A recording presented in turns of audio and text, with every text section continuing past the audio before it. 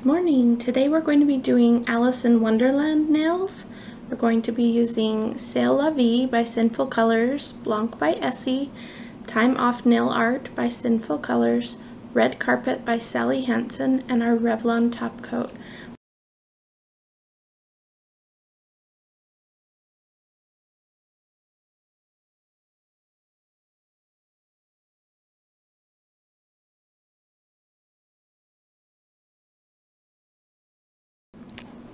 Okay, now that your fingers are all painted, we're going to move on to our spirals.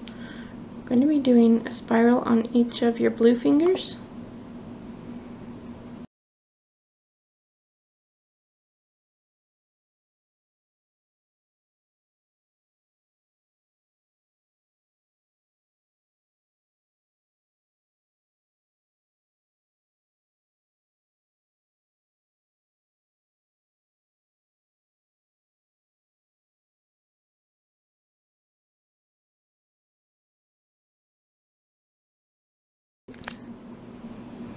Okay, so now that we've got our spirals on here, they're kind of, I made little wings coming off of them to make them look kind of cool.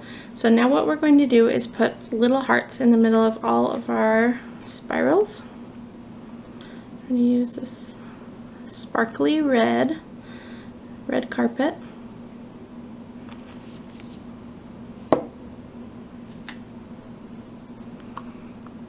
And put a red heart in the middle of each one. Just going to do two circles and then go down.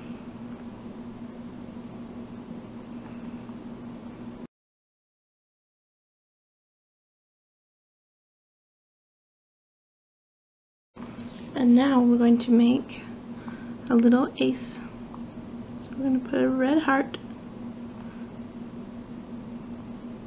in the middle. This is going to be our little card.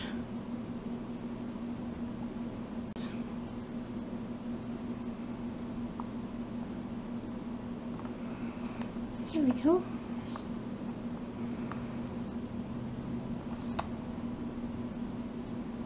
And draw a little A.